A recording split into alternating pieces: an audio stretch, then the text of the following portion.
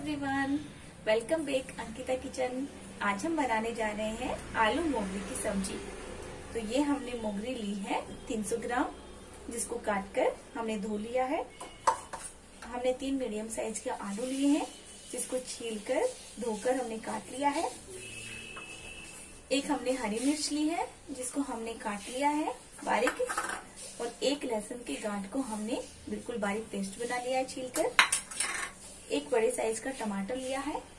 तो आइए हम बनाना स्टार्ट करते हैं।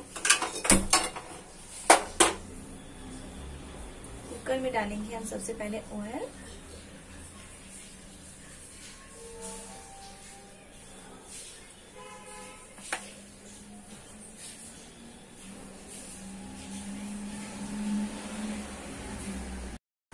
हमारा तेल गरम हो चुका है। अब हम इसमें डालेंगे थोड़ा सा जीरा आधी चम्मच हम जीरा डाल रहे हैं।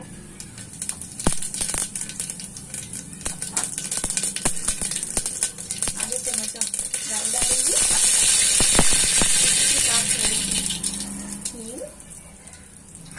अब हम डालेंगे ये बारीक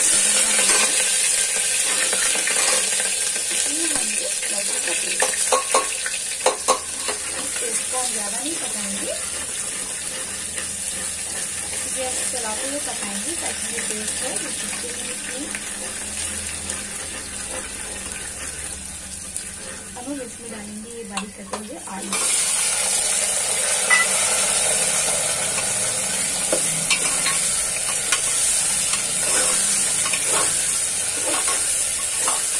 हम बिल्कुल लो रखेंगे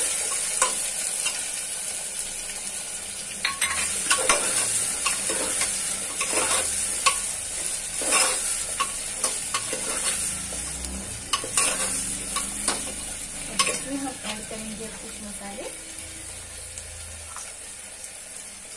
दो टेबल स्पून हमने धनिया पाउडर डाल दिया है। आधे से ज़्यादा हमने हल्दी पाउडर डाल दिया है। डेढ़ चम्मच हमने मिर्च पाउडर डाल दिया है। और टेस्ट के अकॉर्डिंग हम इसमें नमक डाल देंगे आधा चम्मच अब हम इसे एक बार मिला देते हैं आलू को हम कुछ टाइम तक तेल में फ्राई होने देंगे फ्रेंड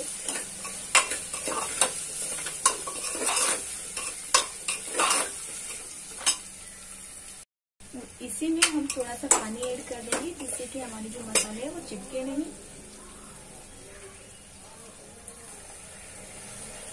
मैंने बिल्कुल थोड़ा सा पानी ऐड किया है। आधा कप से भी बिल्कुल कम। अभी नहीं थोड़ी है। इसी तरह फ्राई होने देते हैं। आलू हमारे थोड़े से फ्राई हो चुके हैं, फ्रेंड्स। अब हम इसमें डाल देंगे मोगरी।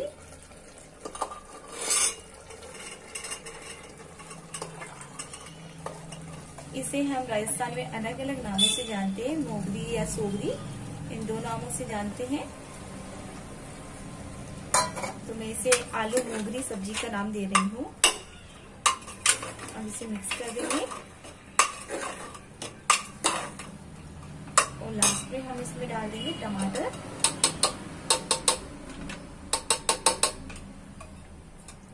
इसी के साथ ये एक छोटा चम्मच गरम मसाला। और इसे हम अच्छे से एक बार चला देते हैं।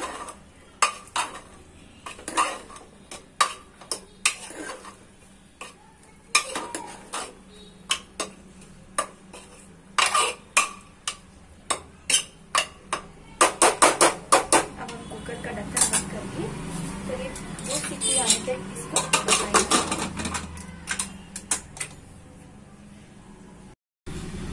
हम अपनी सब्ज़ी चेक करते हैं। वाह ये देखिए फ्रेंड्स हमारी सब्ज़ी बिल्कुल तैयार हो गई है परफेक्ट बनके तैयार हो गई है अब हम इसमें डालेंगे हरा धनिया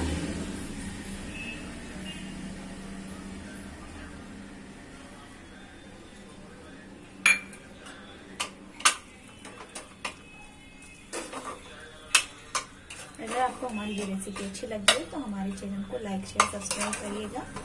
तब तक के मिलते तब तक के लिए मिलते अपने नेक्स्ट वीडियो में। Bye friends